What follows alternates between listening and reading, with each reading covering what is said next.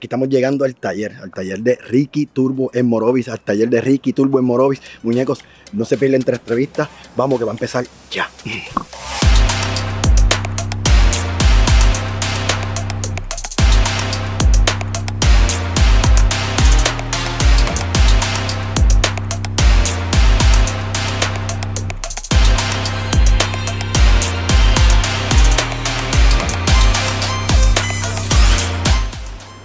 Está pasando? Sí, todo bien. Sí, ¿Vamos a empezar esta entrevista? Vamos a darle, vamos, Vamos a darle.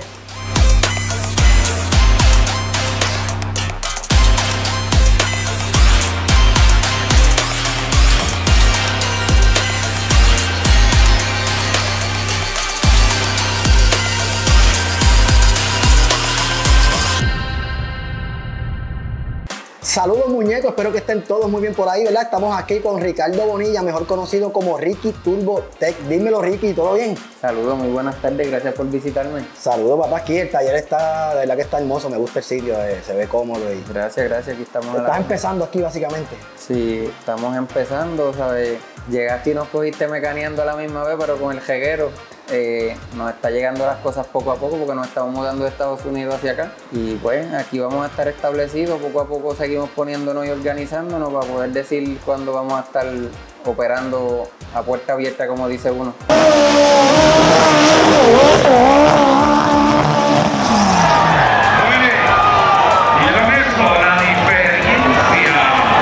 Estás aquí en Puerto Rico, tienes, ¿verdad? Ya tienes una comunidad creada de, de- de- carritos bregando, para el sandrag, el fango, la- las jutas y eso.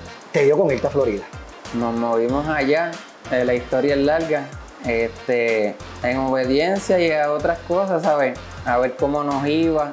Y de verdad que, que fue una escuela, te lo digo, fue una escuela, nos lo disfrutamos, nos disfrutamos el proceso, aproveché el tiempo, yo digo que lo aproveché, fue porque me fui poco a poco surtiéndome de herramientas, de todas las cosas que necesitaba, como si fuera a montar un taller no sé dónde, Ajá. si allá o acá, ¿Fuiste a trabajar o fuiste por experimentar y ya? por, por experiencias nuevas, ¿entiendes? Por experiencias nuevas, ver, ¿sabes? Me lo disfruté el proceso. Volviste para acá. Volví. Te estaban esperando con los brazos abiertos muchos de tus clientes. Así era, había muchos que hace tiempo estaban sonsacándome.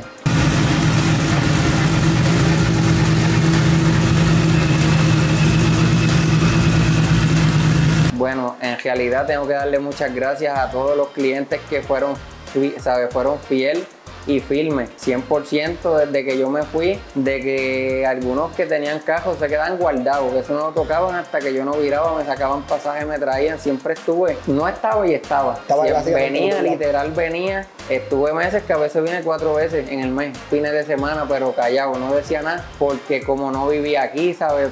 Trataba de venir y resolver al que me traía al que me traía, bregaba con lo interno, como dice uno. Siempre estuve viniendo, siempre estuvieron fieles y siempre querían que yo estuviera acá, ¿me entiendes? Ya te estás estableciendo aquí, básicamente ya tienes taller nuevo. Como dijiste, todavía no vas, ¿verdad? No, no tienes las puertas abiertas, pero estás bregando con dos o tres para ir amolándote para la, para la copa, ¿verdad? Claro, seguimos, seguimos, siempre bregamos, no es que no estamos bregando. Lo que pasa es que en este taller, ¿sabes? Yo, yo tengo licencia técnico automotriz, estudié mecánica liviana, regular, ¿sabes? Lo más que me trae es un carro de fiebre, pero me quisiera, ¿sabes? Organizar y poder bregar mecánica regular, aparte de la mecánica racing. Y no, ¿sabes? Yo digo que estoy cejado pues porque no he puesto anuncio, no he dicho que nada. Brego con el portón cejado, pero tengo, la lista es larga como quiera, ¿me entiendes? Ok. ¿Qué te motivó a ti a entrar en esto de la fiebre? Bueno, lo que pasa es que mami era bien fiebrúa y entonces yo me quise montar un cajón de fiebre y siempre ¿sabes? esa fiebre iba dentro de mí una cosa, pero todo lo que hacía ruido, se movía, todo, allá estaba yo, ¿me entiendes? Quería estar metido en la fiebre, todo ¿Te pasabas en la fiebre con tu mamá? con mami, con mami. Ella tenía cajo de fiebre y andábamos todo el día en cajo de fiebre. Para la escuela en un cajo de fiebre, ¿sabes? Para todos lados, ves el cajo del diario de ella. Tenía un Datsun que era 3TC. En 3TC, era tu ahorita. Los dos eran 3TC, pero ese era un fatback blanco.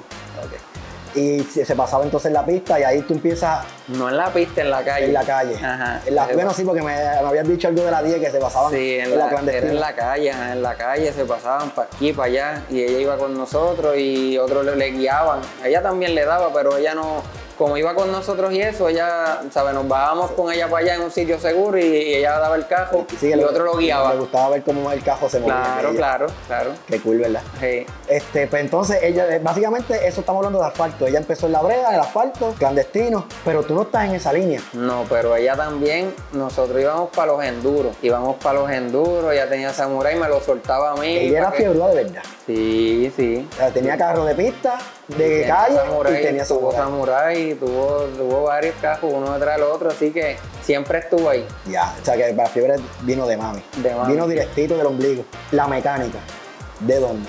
Bueno, pues la mecánica, como nos pasábamos también cambiando en el río, en cascos de samurai y todo eso, como yo digo, siempre había que mecanear en el monte. Pues se rompió una unión, allá la trataban de cambiar en el monte, así seguíamos. Y, y mami también mecaneaba a veces, ¿sabes?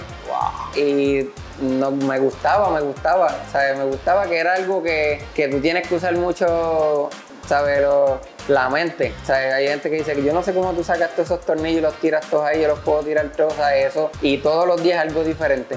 Me llamaba mucho la atención. El primer carrito que bregaste, ¿cuál fue? ¿Qué, Bueno. hiciste? ¿Qué hiciste tú?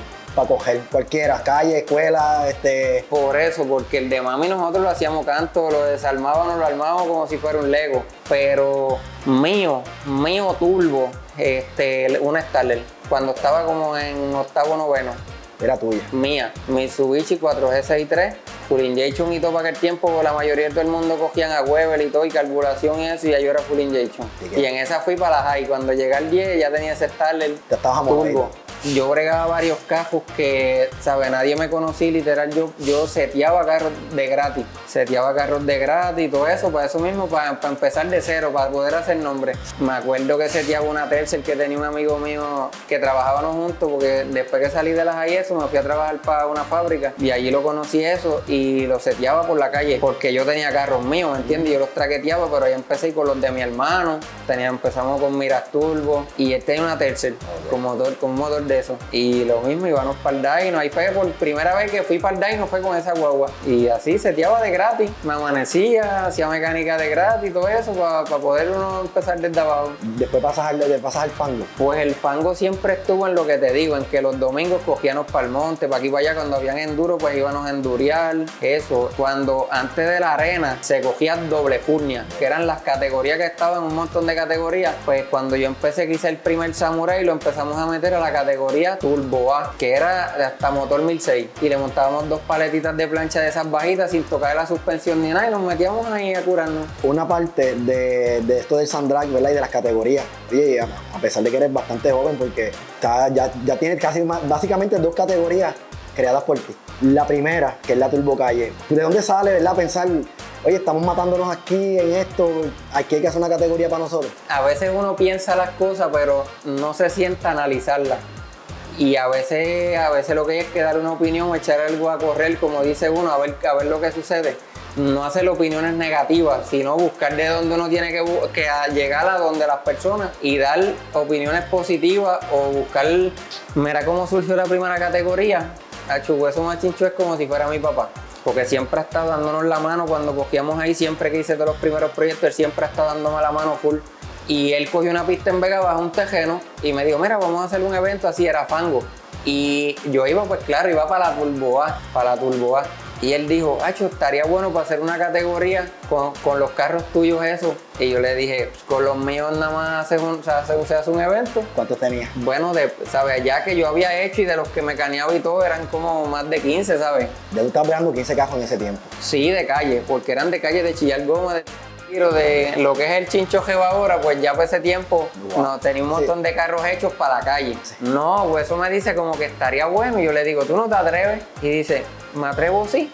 Y nos sentamos allí mismo en el machín y hicimos una, que- hicimos una regla, que fue por lo más que regulamos fue por goma, ¿sabes? No, no permitimos hasta 2JZ, todo eso, pero por carros que nosotros conocíamos que habían, que eran competitivos, Sí, sí, y, y lo, y lo soltamos y lo regulamos por la goma. Así empezamos esa categoría, en la pista de hueso. Esa categoría la, la absorbieron todas las pistas y todas las pistas de Puerto Rico. Ahora están corriendo bajo la categoría que tú y Hueso crearon. Exacto, ajá, porque tú sabes que antes en el fango eran, eran muchas categorías, Turbo A, Turbo B, pues se incrementó la turbocalle, pero cuando se, se va a la arena, que se siguen disolviendo todas las categorías, la turbocalle se quedó, ¿sabes? Se quedó así como mismo estaba. Y es una de las categorías más duras que hay. Sí, y que, y que más le gusta al público, que más le gusta, más competitiva, que, que da mucho, ¿sabes? Mucho show al- al- al espectador. Entonces se va de control la categoría.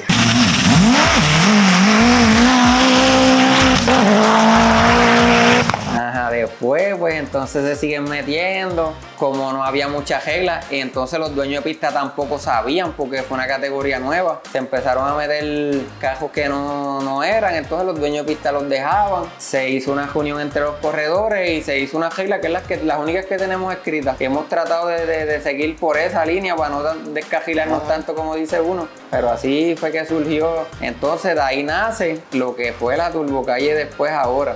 Tratando de retomar lo que dejamos. Tratando de arreglar una, hicieron el monstruo que tienen ahora. Sí. Porque tienen carros que son unos monstruos. Yo llegué a pensar en cierto momento que no corríamos 4.9 y ya van por 3.8. Y me atrevo a decir que se puede correr 3.7 o 3.6 Wow. En estas maquinitas. en esas máquinas. Es, es- es brutal, ¿verdad? Como- Y ahora, viendo el descontrol, no, que los carros están volando y la gente, ¿verdad? Como que coge miedito meterse en una categoría donde tú vas a hacer menos que carros que están volando, decides ahora crear otra categoría. Sí, porque en aquel, en el entonces cuando la categoría empieza a coger auge, se llegaron a meter hasta 60 carros. Yo digo que en Orocovi y se empezó un evento con 40 y pico. ¿sabes? Era una categoría que había mucho quórum. Cuando tú dices que se sale de control y toda la vuelta, pues ahí baja el quórum. Yo siempre decía para, no para dividir, para hacer dos categorías, pero todo el mundo pensaba que era dividir los que estaban, ¿sabes? Porque ellos se dejan llevar por los que estaban, ah, pero si, si están viniendo 15 y los divide, pero es que no es eso, lo que es dejar esa como está y, y virarla como empezamos, para tratar de regular los carros más, ¿sabes? Tú buscando el crecimiento de, de- Claro, el, el crecimiento de cantidad de carros. ¿Cómo logras convencer a Huesito? No hago huesito porque hay- había muchos que, que siempre, siempre daban la opinión que sí, ¿sabes? Era, era, eran compartidas, pero no se hacía, ¿me entiendes? Pues yo dije, déjame, empecé a llamar a los muchachos mecánicos que bregan como yo por ahí con cajitos de calle. Mira, ¿qué tú crees si hacemos este, esto? Así, así, estoy pensando hacerlo así, hacerlo así. Claro que sí, me apoyaban, aquel el otro. Pues buscamos auspiciadores, que entre ellos ellos auspiciaron también para la categoría. Pues yo seguí llamando, hueso, dale, seguro que sí. Llamé a Popeye Machine Shop, claro que sí. Seguí por ahí, se unió Suá, que es de Conérico, un fabricador duro, viene para Puerto Rico a vivir, apoyó la categoría. ¿Sabe? De los que auspiciaron así, Suá, Miguel Payne, Sabi Turbo, este servidor, este Hueso Machinchó. Ahí fuimos con el plan donde Huesito. Mira, Huesito, lo envié, mira, tengo esto así, ya le envié lo que las reglas, ¿sabes? Las puse yo mismo. ¿Qué Pero tú esta vez crees? por escrito. Claro, por escrito. Mira, estas son las reglas de una categoría nueva, porque yo lo iba a hacer y se lo iba a llevar a él. Si él me decía que no, pues se lo iba a llevar al dueño de una pista. Si ese me decía que no, se lo iba a llevar al dueño de otra. Sí, sí, sí. Alguien lo tenía que adoptar, ¿me entiendes? Pero de la primera, si tú me dijo, claro que sí, Sacho, de verdad me gusta, vamos a meterle. Y yo le dije, pues háblate, ¿se podrá meter en tu evento? Claro. Y háblate con Joy. Joy dijo que sí y lo hicimos así. Y nació una nueva categoría. Nació. Y estoy loco de que empiecen a correr y que empiece a dar más resultados de los que ha dado hasta el momento. ¿Cuántos ya más o menos hay inscritos ya 30 y pico. y todavía nunca han corrido? Por eso ah, hemos tratado, como saben, se ha, se ha suspendido por lluvia. En la primera vez nos fuimos a coger por otro lado, ellos también en fiebre Sí, sí, vino. sí. Y como son corredores, eh, me gusta mucho porque son cogedores nuevos que nunca han tenido un, un- nunca se han parado en una, en una pista, en un palo de luz. Pues nos fuimos para un sitio, practicamos la salida, aquello, ajustamos los cajos, llega la copa, llueve otra vez y tratamos de coger esa categoría, pero hecho no secó y el había un cajil malo y nos ponimos y entre todos decidimos posponerlo para evitar un accidente, ¿me entiendes? Para no empezar con el pie izquierdo como dice uno Una categoría empezando mal. empezando mal y pues, pero se curaron, se curaron, se curaron. A la que corran y vean que Y- todo el mundo puede competir. Exacto, y todo el mundo algo- tiene posibilidad. Lo que hice fue que lo regulé a 5-5, ¿sabes? Porque yo sé que es un número que está ahí donde todo el mundo puede estar. Sí, sí, sí. Y si veo que la mayoría se pasan, pues le bajamos un poquito el índice. ¿Me entiendes? Hasta un punto donde no se salga el que quiera volar, tiene opciones. A los esperamos con los brazos abiertos. Así mismo. A- a- En algo más que te quiera destacar, ¿verdad? Otras cosas que quieras hacer. Bueno, Tenemos la Starler que viene por ahí. Viene con un Starlet. Ajá. Quiero correr en el cuarto de milla, ¿sabes? Eso es mío propio, ¿sabes? Personal. Hacerla yo, setearla yo, guiarla yo, a ver, ¿sabes cómo nos va? Eso. ¿Con qué combinación viene? Este, 3 SGT. Viene con Toyotita. Mi meta, ¿sabes? El top, el top es poder coger Harley, guiando yo, ¿sabes? Tú quisieras guiar un carro raro. Despedirme como si no fuera a volver. Es un deporte que también a mí Sí, es extremo, bien extremo, bien extremo, de verdad. Pero ese es el que de verdad me. Yo digo que es el que me encanta a mí, pero bueno, aquí no lo hay. so. No, quiero agradecer a los clientes que siempre, que siempre me han apoyado condicionalmente. Quiero agradecer a los auspiciadores que igualmente siempre sé que han creído y me han dado la mano desde la primera categoría, hueso, todo el mundo. Y ahora, los dueños de pistas, ¿sabe? Todo el mundo y estamos aquí a la orden para lo que sea, para que el deporte siga creciendo. Sea en la brea, sea en la arena, sea en el agua, sea en el aire, donde quiera que podamos darnos, ¿sabe? poner nuestro granito, ahí estaremos. Nada, te veo, papi, te veo en la Copa para el Fiebre. Este, seguro, no te digo que voy a coger la misma categoría porque el mío no llega allá. El mío, tú dijiste 5-5, el mío lo más que coge son 12. No, pero estás ahí, el, el mínimo, ¿sabes? No te puedes correr de 5-5 para abajo, pero puedes coger de ahí para arriba todo No, lo que quieras. Además hay más opciones, hay braques, Sí, yo voy a coger y hay braques, y ahí hay chavo también, hay buenas premiaciones, ¿sabes? Que hay para todo el mundo en esto. Próximo video, Copa para el Fiebre en febrero 27. Se me cuidan. Y gracias Febrero no, perdón, enero 27. Gracias por la visita, aquí a la orden siempre, sea con cámara o sin cámara. Ricky, te lo agradezco un montón, de verdad. Siempre estuviste dispuesto, de verdad, gracias, Sí. te lo agradezco. Y, y a los clientes, gracias. Ya estamos en Puerto Rico, se pueden comunicar a mi número de teléfono 787-382-6499 para programación, para inventos, para lo que sea, hasta asesoría, lo que sea. Yo siempre le doy la mano a todo el mundo. El que me conoce sabe cómo soy yo. Si quiere que su samurái corra, si quiere que su, o no samurái, el hombre brega de todo, ¿sabes? Sí. Ahora mismo está más desarrollado en el samurái porque es lo que le están trayendo, ¿verdad? La mano. Pero si le quieren traer su carrito de pista, él está dispuesto a todo. No le tiene miedo a nada. Como Sí. les digo, no hay motor que valga. Si viene con un motor de motorita de esos de scooter, él se lo va, le va a bregar el motorcito y va a coger en la pista. Ya lo saben. Ricky, te lo agradezco, No, mano. gracias a ti por la visita.